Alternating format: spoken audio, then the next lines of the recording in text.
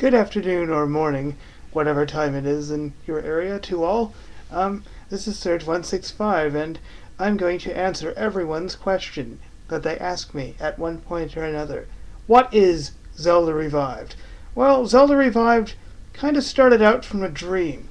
I had a dream one night, you know, in April, March, can't pin the time exactly, never could, of 2000, where, um, Zelda's people, the Hylians, were crossing into Avalar.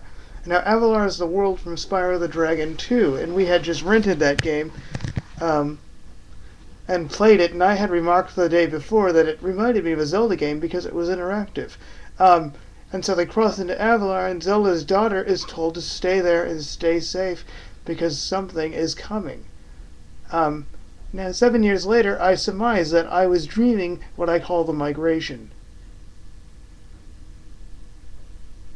The Migration is a poem from my childhood that talks about Avalari going to Hyrule through a blue gate or a blue portal, depending on what word you use.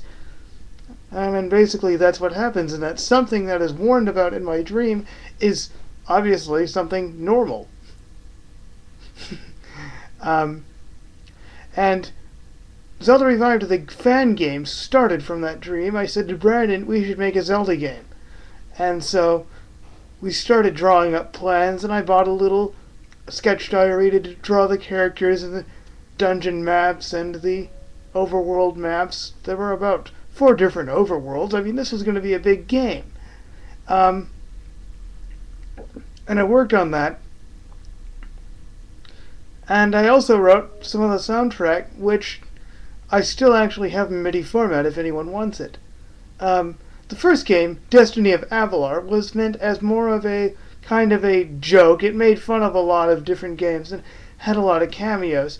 Now, as I continued working on it, however, and I actually finished the first one and it got deleted in a virus attack, um, I realized what I was actually doing um, via Zelda Revived. I was resurrecting my old childhood poetry so I took more of a, sincere tone when I discovered Wand of Gamelon, Faces of Evil, and Zelda's Adventure. Um, Faces of Evil and Wand of Gamelon remind me of a science fiction movie that Brandon and I wrote the script for and tried to film. Um, so I based it kind of off the ideas in that script. Uh, without the science fiction background, moving it to a medieval steampunk background. uh,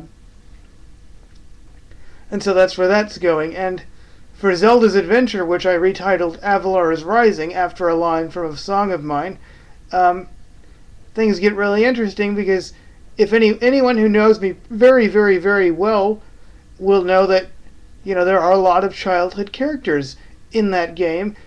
You know, mainly the Flower Girl and Michaela Ironbolt, who is a girl, by the way, um, Molly the Hammer, and uh, most people from Duluth who knew me will actually know who they are. And they're just kind of friendly cameos and references to what this game is all about. Um, I also did some work on the battle system and the battle engine of the game using RPG Maker, uh, using kind of a stamina system like in Chrono Cross, which was in the original outline. I ended up losing the notebook and losing half my mind with it. um, but I think I pretty much know how it works, and I'm currently working on Wand of Gamelon still, thanks to a few more interruptions. And I hope to actually get that finished and out to people so that they can actually play the game, instead of hear me ramble about it. Uh, well, that's about it for me. Feel free to leave comments, video responses, whatever, rate it. Um, peace and blessings.